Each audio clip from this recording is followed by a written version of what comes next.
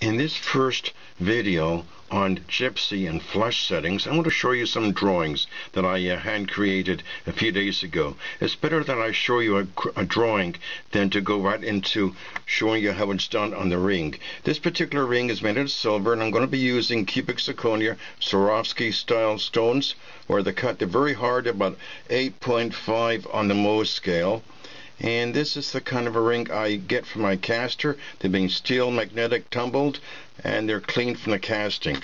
And this is the kind of a ring I'll be working on in the next video using my favorite ring clamp.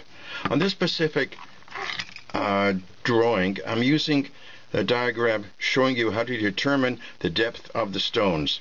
Very easy. And this is a large, uh, large uh, cubic zirconia it's about 12 millimeters, but I only use it for demonstration purposes.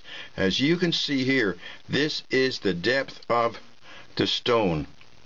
And when I'm finished hammering and cleaning and polishing it and bright cutting on the inside of the gypsy setting, this is where the table should be in line with the surface of the ring.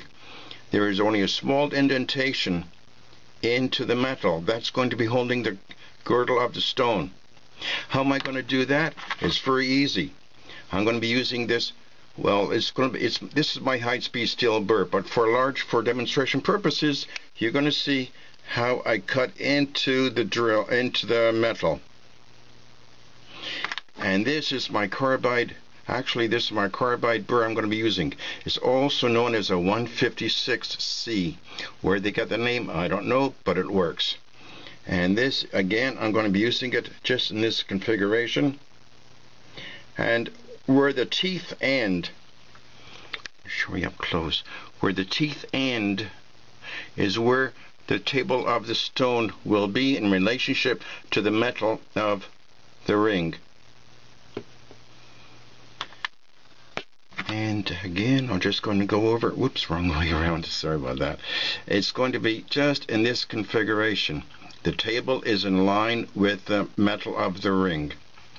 On the next uh, drawing I have, and if anybody wants to have these drawings, just email me at gerrylewy18 at gmail.com. I'll be more than happy to send you the whole list of drawings, about 20 of them, I think, at the last count. And this is the hammering position, large view. This is my favorite uh, 85 gram uh, hammer and I'm going to be hitting it on this direction. One two three and four. That by when hitting the four spots the stone will be tight. Then what I'm going to do next is hammer in between going around and filling in the spaces. Then on the third drawing I show you where I'm going to be doing a bright cutting with my right sided onglet number two graver you have to have a hammer that is pretty well like mirror finish. I just touched it up before I made this uh, this video so you can have an idea of what the hammer head will look like. And when it's smooth, you don't have to worry about using an, uh, an emery wheel, but I sometimes will use a pumice flat wheel of 180 grit. And I will just hammer little areas in between the 1, 2, and 3, 4 step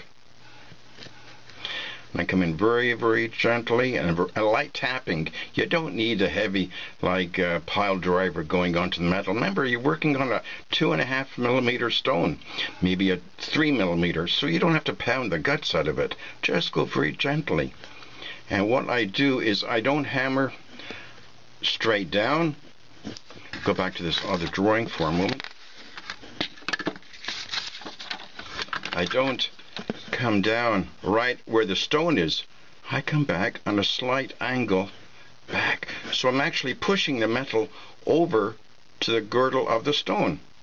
I don't come in right on over the stone edge or the metal edge.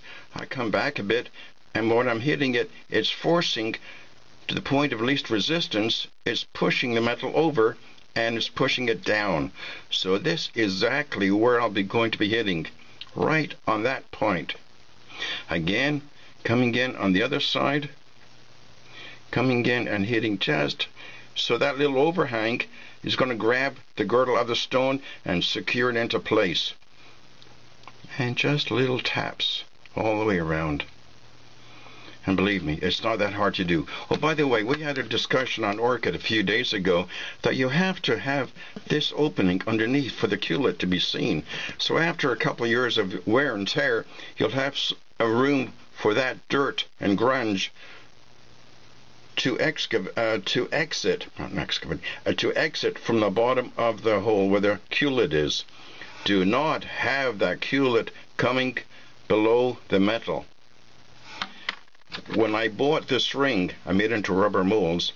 The original design had, it was very thin, but the jeweler, in his great infinite wisdom, decided to put little jump rings at the bottom, bottom of each individual hole. Why? To give it more depth for the stone to sit into and against the metal. And this is 13 13 stones will go into this ring. When it's finished, it is absolutely beautiful. So what I do when I start setting the stone, I will start